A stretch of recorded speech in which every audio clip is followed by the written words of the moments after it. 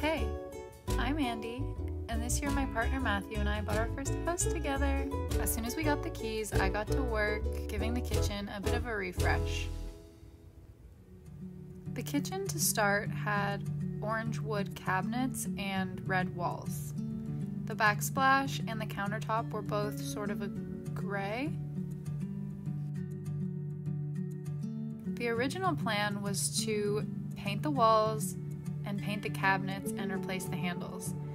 But we decided that the backsplash and the countertop were just gonna stick out like a sore thumb if we didn't replace them as well. And because we were cutting a new countertop, we got the sink.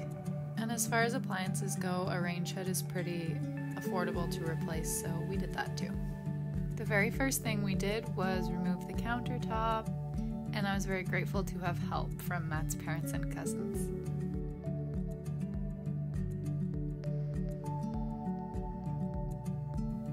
We hired someone from Kijiji to paint the cabinets for us. You can totally do it yourself and save some money. In this clip, the cabinets had just gotten their first coat of primer.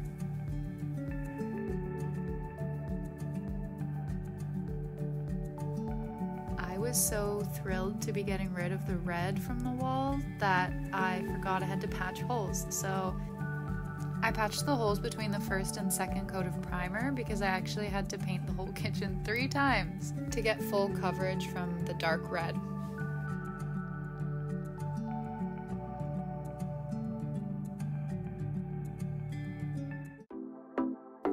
With all the prep that is involved with painting, it is a lot harder than it looks on YouTube.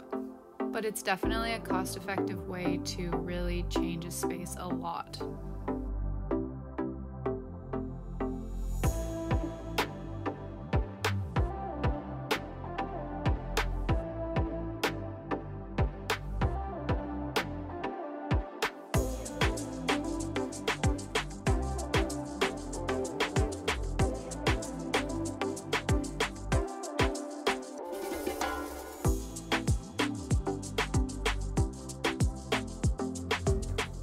Time for me to paint the tile backsplash with this Rust-Oleum tub and tile paint. I was so confident going into this, and you can see from these videos that my confidence dwindles fast. The consistency was very runny and drippy, and the first coat looked horrible, and I was filled with doubt and dread that I had ruined the tiles. But after the second coat, it actually looked fine, so what a roller coaster.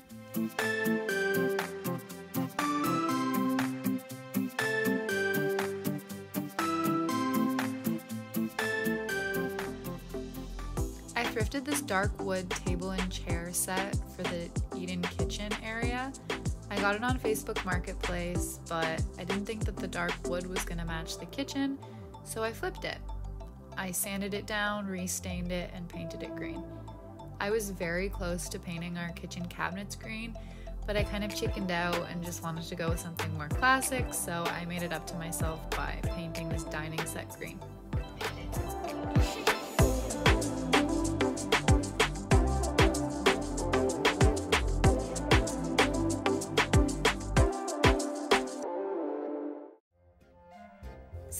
Forget the camera is rolling, and this is one of those instances.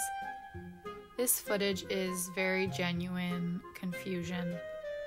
I am puzzled putting up my first light. But after I did it for the first time, I was putting up lights all over the house.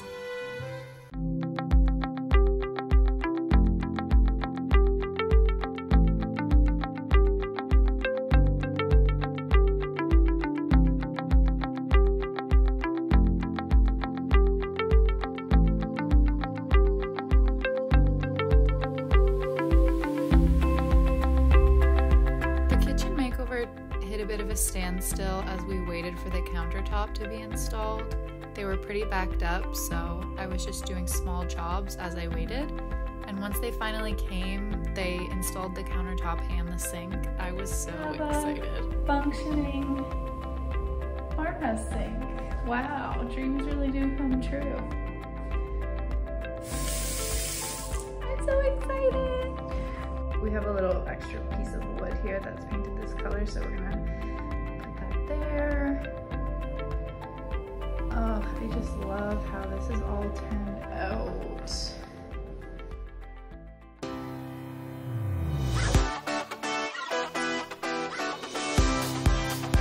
When it finally came time to move in and decorate, I was very excited. I've been waiting for this for a while, and it was the best part.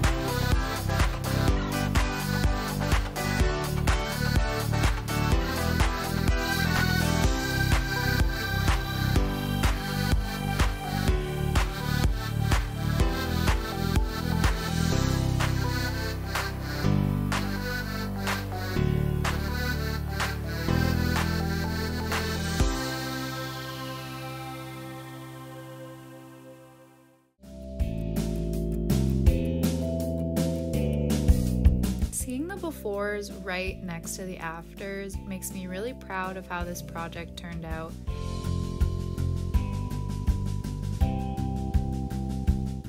There's obviously moments during a project like this where you can doubt your vision as you have to make decisions before other things are up. And we played it pretty safe with the all white and off white color scheme, but it just looks so big and bright in here, and I really love it.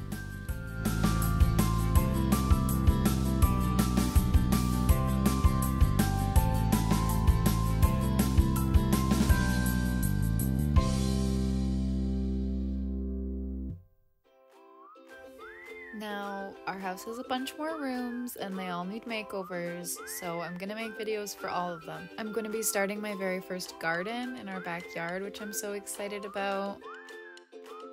I'll definitely have a couple of dinner parties. And in between that, I'll be making things with beads or clay or my sewing machine. So if you're into that kind of thing and you want to keep watching, please subscribe. Thank you very much for watching. See you next week.